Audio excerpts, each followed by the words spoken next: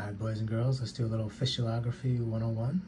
This is the body of the fistula that I've accessed and I'm doing an angiogram. You can see my wires looped here. Just FYI, there's a little kink here that I had a difficult time getting the wire through. But we'll come back to that later. So here's a nice central shot, right? And if you look closely, you can see a stent there, and there's basically in-stent stenosis. On this edge of the stent, uh, contrast coming in, it narrows right there. You can see visually there's a narrowing. There's reflux into this big vein. So this is the problem. This is the stenosis. This is the reason the patient's on the table, right?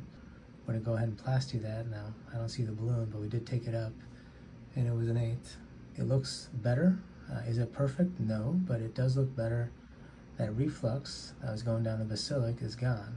If it's good enough, I usually end my case right there. If I see there's a lack of reflux, there's decent flow, it's improved off the eight, I'm inclined to just let it be. Um, you could take this up, maybe another size. You could also irritate the vein. The vein could respond to that irritation by closing down. You could form a clot there. So I don't really want to go there. I'm happy with what it looks like. Now I was talking about that spot where my wire hung up on the first image. So we hit that with a six. We got a reasonable result on it right there. And that is that. That is Fistulography 101. Thank you for watching.